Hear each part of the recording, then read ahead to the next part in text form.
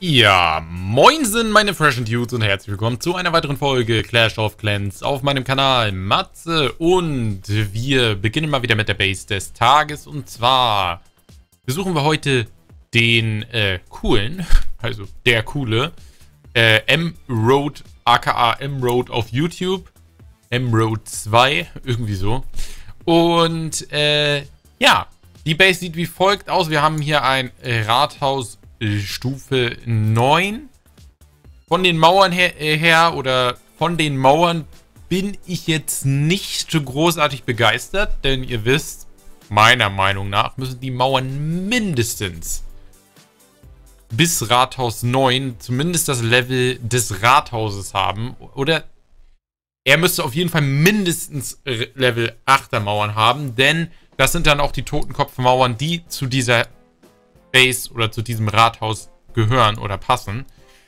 Äh, von dem her, ja. Ich denke mal allerdings, dass es ein frisches Rathaus Level 9 sein könnte. Denn wenn ich mir hier so die anderen Sachen drumherum so angucke, dann ist das alles das, was ich auch auf, also fast alles jedenfalls, das, was ich auch auf Stufe 8 noch schaffen könnte. Allerdings hätte er die Mauern auch auf Stufe 8 schon hätte machen können. Äh, das wäre meiner Meinung nach noch drin gewesen, aber sonst sieht das sehr, sehr gut aus. Nur die Mauern wären halt, Stufe 8 wäre ganz schön gewesen, weil das ist auf jeden Fall möglich. Mit Rathaus 8. Und ja, die Base sieht ordentlich aus, schöner Aufbau. Das Einzige, was mir nicht gefällt, ist, dass die, das Rathaus selbst jetzt außerhalb ist. Verstehe ich auch nicht ganz, warum er das jetzt gemacht hat. Ähm, falls ihr eine Ahnung habt, warum manche ihr Rathaus außerhalb der Base platzieren, schreibt es gerne mal in die Kommentare. Würde mich auf jeden Fall mal interessieren. Ich habe da keine Ahnung zu. Dann schauen wir uns mal die Einheiten an. Er hat äh, die schon sehr, sehr gut entwickelt. Dragon Stufe 3. Ja. Hacker auch schon auf 3. Ja, viel, viel weiter kann er da das Ganze nicht bringen. Ähm, Wutzauber auch auf 5, Heilzauber 5. Äh, Blitz 5, Sprungzauber sogar auch schon auf 2 und Barbarenkönig auf 10 und Queen auf 6. Joa. Wobei ich jetzt gerade feststelle, wenn er die Queen schon auf 6 hat und man die Queen erst mit Rathaus 9 kriegen kann, weil ich habe ja Rathaus 8 und ich kann die Queen noch nicht kriegen, dann ist er schon lange auf Rathaus 9 und dann wiederum ähm, ja. Dann wiederum muss ich sagen, war er wahrscheinlich zwischendrin mal sehr gerusht und hat, ist jetzt aktuell so ein bisschen dabei, das nachzuholen. Denn das sieht ja alles grundsätzlich ganz gut aus, aber das ist natürlich... Das hätte er auch schon auf Rathaus 8 alles hinkriegen können. Wenn ihr wisst, was ich meine. Aber wir wollen heute mal wieder nicht zu kritisch sein. Ähm, aber ihr wisst genau, was ich meine. So, dann schauen wir uns mal die Bauarbeiterbasis an. Die sieht wie folgt aus. Kanone 2, Kanone 3, Kano Doppelkanone 2. Tesla kann ich nicht sehen. Bogenschützenturm 2. Elixierlager 1. Elixiersammler 1. Also das ist nicht dolle. Da bin ich deutlich besser. Hat er auch fast gar nicht gezockt. Nur 471. Entweder der Emerald spielt nicht so viel oder er setzt, legt auf jeden Fall auf die Bauarbeiterbasis überhaupt gar keinen Wert. Äh, denn danach sieht das so ein bisschen aus. Das Einzige, was er immerhin schon hat, ist die Juwelenmine. Die hat er im Gegensatz zu anderen Dingen äh, relativ früh. So, und das war's auch eigentlich schon mit der Base. Und äh, bevor ich jetzt hier großartig zocke, eine Sache, die ich unbedingt ansprechen wollte. Und zwar überlege ich demnächst mehr oder weniger regelmäßig. Wir müssen mal schauen, wie viele interessante Fragen reinkommen. Aber ich überlege, FAQs zu machen. Und äh, darauf wurde ich in letzter Zeit halt schon öfter angesprochen. Viele haben gesagt, mach doch mal ein FIQ. Mach doch mal ein FIQ. Und ich denke mir, ja, gerne. Und ähm, würde das gerne demnächst mal machen. Und dazu könnt ihr mir gerne jetzt vermehrt irgendwelche Fragen, irgendwas, was ihr schon immer mal von mir wissen wolltet oder was auch immer, mir in die Kommentare schreiben und ich werde sie dann in einem Video versuchen, nach bestem Wissen zu beantworten, die Fragen. Und ihr könnt die Fragen stellen. Hier auf YouTube in den Kommentaren. Für die Leute, die vielleicht auch kein YouTube haben, auf Instagram, Facebook und Twitter auch gerne. Und ähm, ja, das war es eigentlich im Groben und Ganzen zu dem Thema, was ich halt unbedingt ansprechen wollte. Ähm, ich freue mich schon darauf.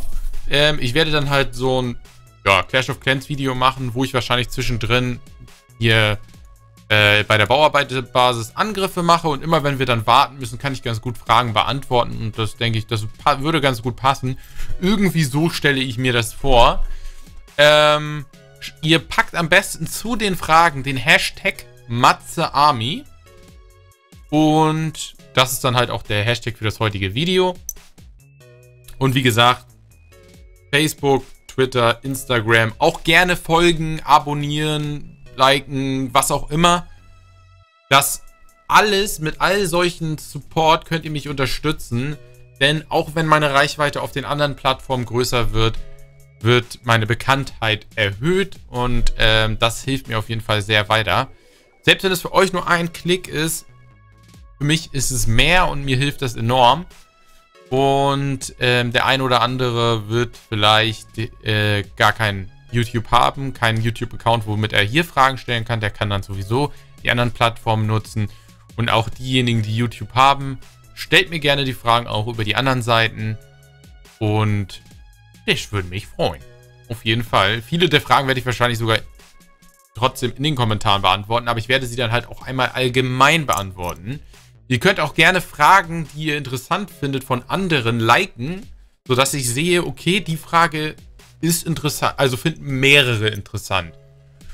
Das wäre auch nochmal eine ganz gute Nummer. So können wir es machen. Und ich würde sagen, äh, jetzt hauen wir mal einen Angriff raus. Wir müssen noch zwei Angriffe machen und wir wollen dann heute den entweder den Zerschmetterer oder ähm, was wollten wir noch bauen? Die ähm, den Kracher auf Level 3. Zerschmetterer auf 2 oder Kracher auf 3. So machen wir es. Und wir gehen jetzt erstmal, ja, wie gehen wir hier rein? Ich überleg von der Seite, ehrlich gesagt, hier reinzugehen. So, zack, zack, zack. Komm, haut das mal weg. Dann kommen die nämlich auch an die, an die Kanonen ran.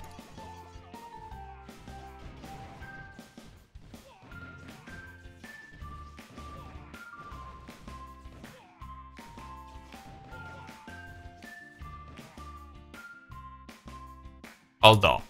Das war nicht so gut. Komm, haut den noch weg. Wenigstens den noch. Und dann da hinten kommt jetzt noch der Tesla ran. Alter. Sauber. So, da kommt die Kanone noch nicht ran.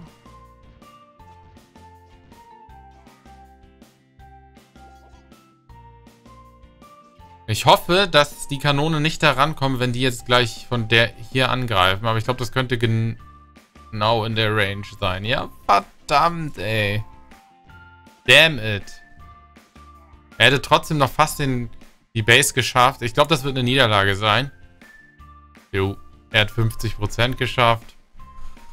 Wir können uns das mal angucken. Einfach auch Interesse halber, wie sie zurzeit meine Base überlisten.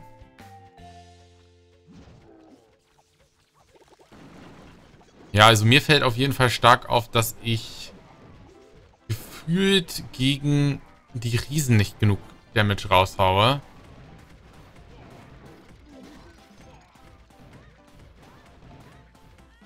Hm. Aber trotzdem, 50%. Das war ja jetzt nicht viel, mega viel mehr, als ich hatte. Aber ich habe halt nicht mal die Base bekommen.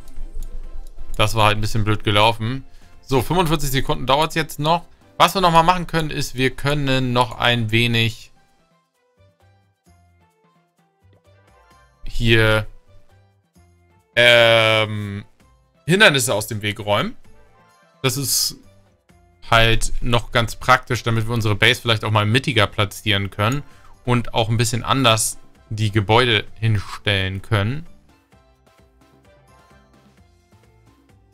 17 Sekunden noch, bis wir das nächste Match starten können. Aktuell können wir auch nichts weiter bauen.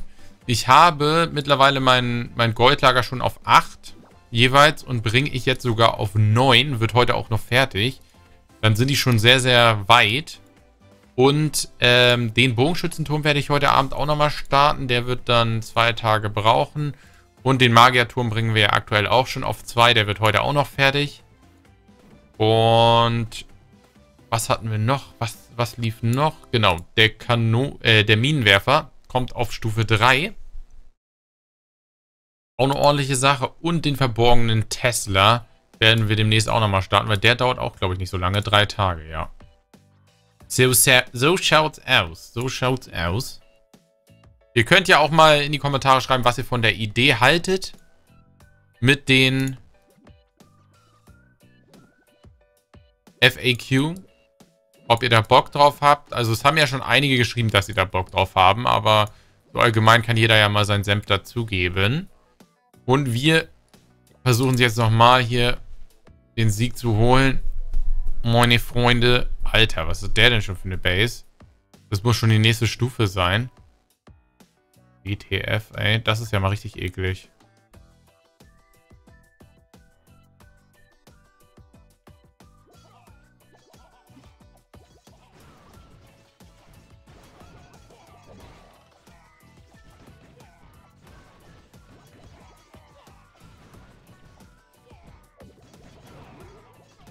Na, komm alle rein da. Haut mal die Base weg. Ja, sauber.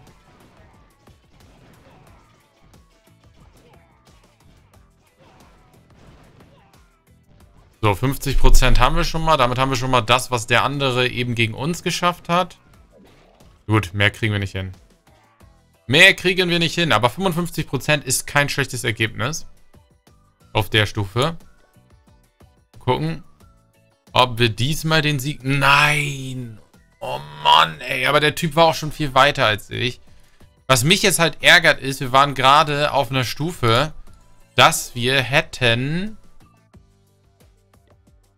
demnächst mehr Belohnung hätten kriegen können. Ach nee, erst bei 1200. Okay, dann äh, ist es sowieso egal. Die hat erst gepackt hier. Ja. Also Bartsch scheint äh, besser zu laufen als die Variante, die ich jetzt hier aktuell bevorzuge. Und ich habe das Gefühl, ich muss meinen Zerschmetterer weiter nach innen ziehen. So, können wir das eigentlich auch machen? So geht das auch. So stört der Zerschmetterer etwas mehr. Ich glaube, das ist besser so. Hm. Aber ich werde die Strategie, die er eben gemacht hat, die werde ich beim nächsten Angriff auch mal ausprobieren. Weil er hat meine Base geräumt, obwohl er, sag ich mal, keine besondere Strategie da hatte. Absolut nicht. Hat er einfach meine Base geräumt, ey. Was für ein Arsch. So, wir können jetzt mal gucken, ob wir nochmal eben ähm, irgendeine Base abfarmen können. Zwischendrin, wenn wir schon dabei sind hier. Der hat ordentlich Flocken da in der Mitte versteckt. Hm. Die Kohle könnte ich rausholen, aber ich brauche eigentlich ein Elixier, ey.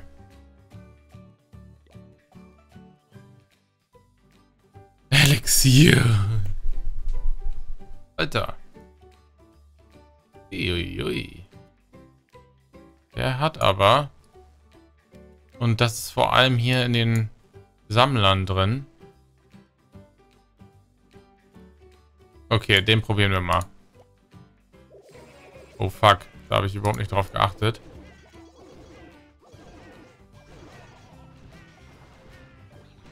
Boah, Jungs, ey. Toll, das war ja richtig geil. Oh, leck mich am Arsch.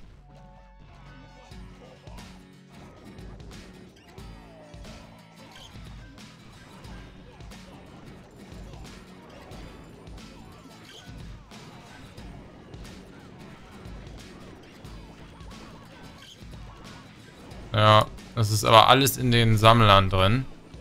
Definitiv.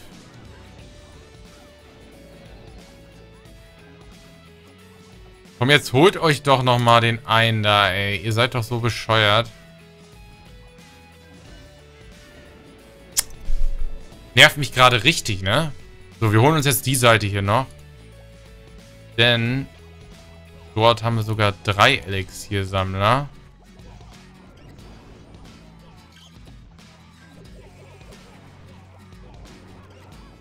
So, komm, alles rein da. Männers.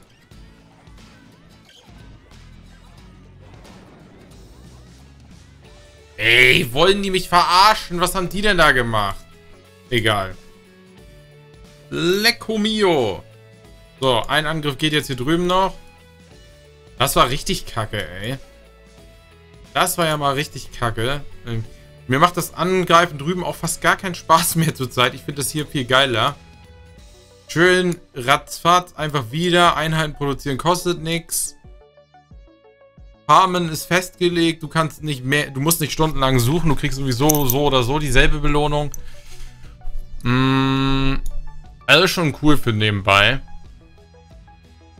So, wir haben da den scheiß Stanzer, der mir richtig auf den Piss geht, allgemein.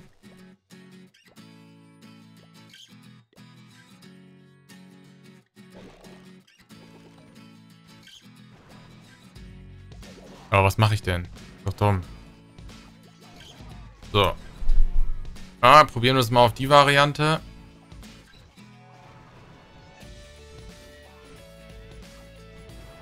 So, die Base haben wir auch.